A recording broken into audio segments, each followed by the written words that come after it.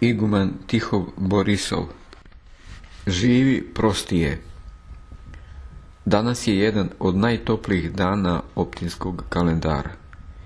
Jedan od najomiljenijih. Optinski raj. Dan kada proslavljamo spomen na prepodobnog i bogonosnog optinskog Avrosija. Ne može se sakriti grad ako je na vrhu brda. Njegova sveća obasjava celu vaseljenu. Čini se da je već toliko puta rečeno o prepodobnom Avrosiju, toliko toga o njemu pročitano, toliko je prepevanih akatista i grob njegov je već sav izljubljen. Koliko mu je suznih molitava upućeno. Čini se da nam preostaje samo da zastanemo uz blagočestivo ćutanje pred njegovom svetinjom, da se u tišini srca spustimo na kolena i da uzdahnemo za svoje grehe. Ali danas srca verujućih ljudi likuju i poju i skoro da ne mogu stati u prepune hramove.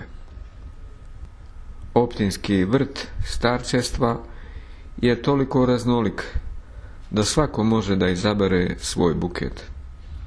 Svako može da pronađe svoju nijansu, svoju muziku, svoju himnu. Optinsko starčestvo je živo prostranstvo ljubavi i vere, krotosti, smirenja, mudrosti, rasuđivanja i tople molitve. Svi starci su dijamanti duhovnog života. Ipak je prepodobni Auros je posebna oaza, posebna dubina, posebna melodija. Narodno poštovanje kao da ga je izdvojilo u neku neponovljivu celinu i u svom srcu ispisalo njegovo ime zlatnim slovima ljubavi.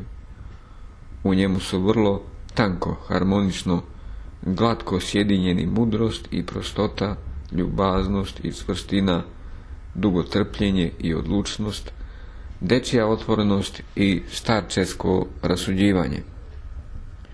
Sveti oci govore da monah nije samo jedan monos. Monah je onaj koji je sabran u jedno.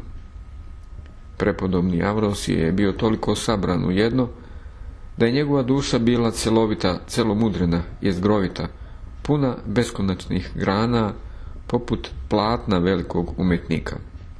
Umetnika sa velikim početnim slovom.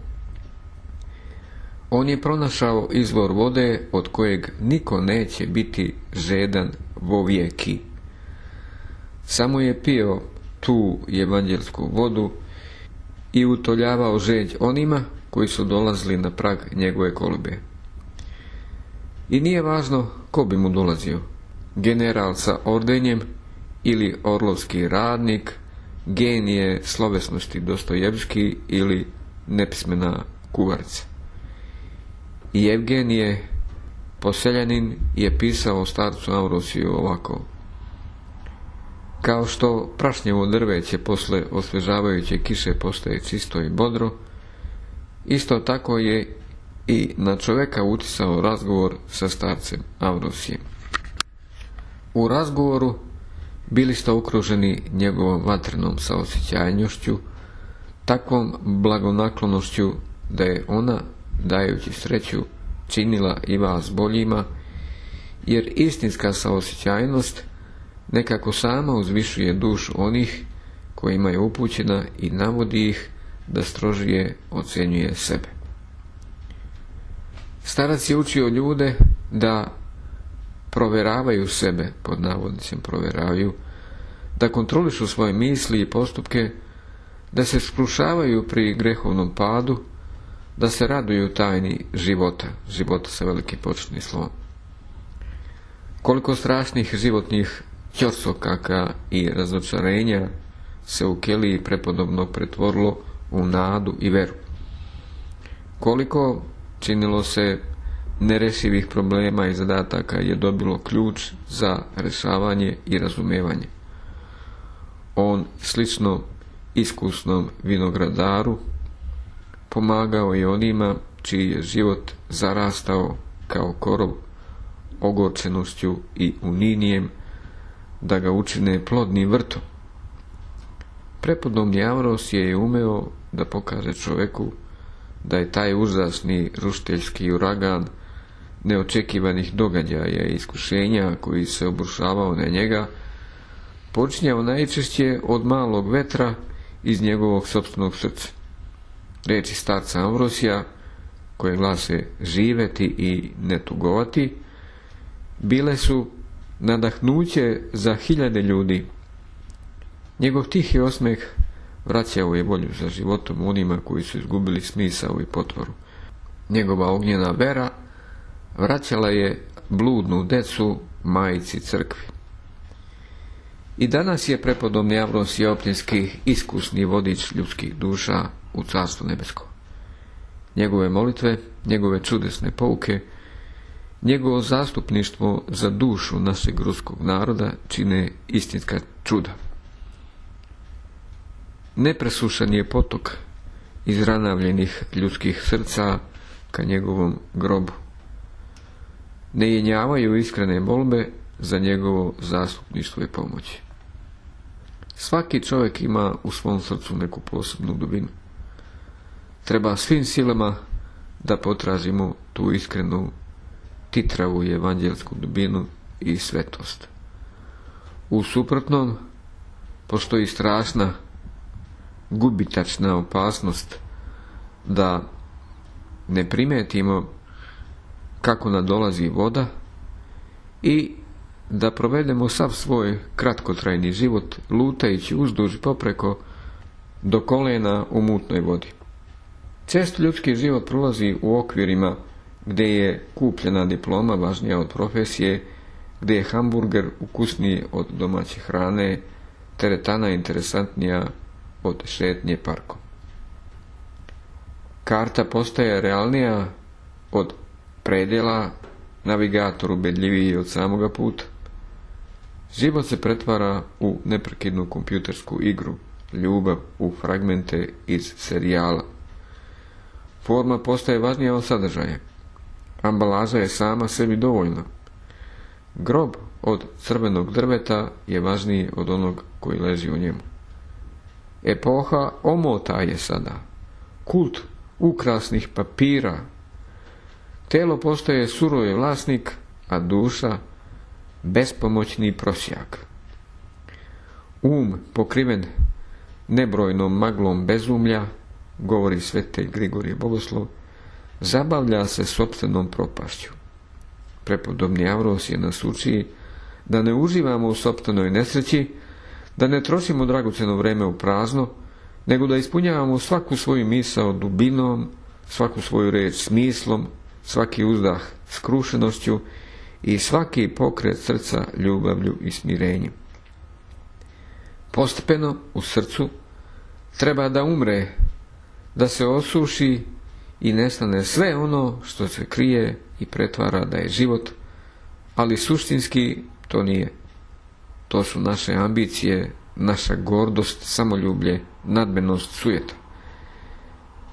Živi prostije, ovo su često iz ustiju blagodatnog starca mogli da čuju bogomoljci.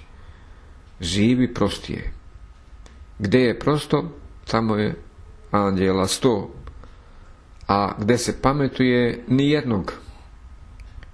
Optina pustinja u starčnim vremenima to je cijela vaseljena smeštena u zidne jednog malog manastira. Još je svete ljegnjatije Kavkaski sredinom 19. veka sa oduševljenjem je pisao Otac Arhimandrit Moisije je blagodarim i trpeljivim nošenjem nemoći bližnjih u nedro svoje obitelji privukao izabranu inočesku zajednicu kakve nema u Rusiji, a prepodobni Avros je jedan od najdragocjenijih sjajnih bisera optinskog vrta. On je najvažniji blagouhani cvet optinskog buketa. Svako od nas može da udahne njegov blaguhani miris. Evgenije poseljanin je sa ogromnim ubeđenjem i velikim poverenjem prema starcu pisao Vrlo dobro sam znao da ako postanem rugoba ili mračan ili jako oglupim, u suštini rešim se mogućnosti da budem prijatan ili se unizi moj položaj u životu i postanem nesrećnik, svi će mi okrenuti leđa. A on bi me tada još više prigrlio i zato sam smelo govorio sebi da me niko nije voleo, neće me voleti više od njega. I voleo je on tom ljubavlju koju naš narod tako pronicljivo izražava rečju sažaljenje, pod navodnicima sažaljenje, to jest svim silama duše u želji da služi drugome. A takva ljubav je uvijek potrebnija od sreće. O toj velikoj ljubavi pisao je i Dostojevski. Žalost je naše blago i strašno bi bilo iskoreniti je iz društva. Prepodobni Avros je govorio da treba da podrazavamo devicama. Samo mudrim, a ne pod navodnicima ludim. Onim devicama koje se obezbedile jelejem ljubavi, dobrote nade, smirenja. Svetilnicima koji se ne gase. Zato i dolazimo do starčeske obitelji na obali Božje reke, da bi dopunili svoje svetilnike.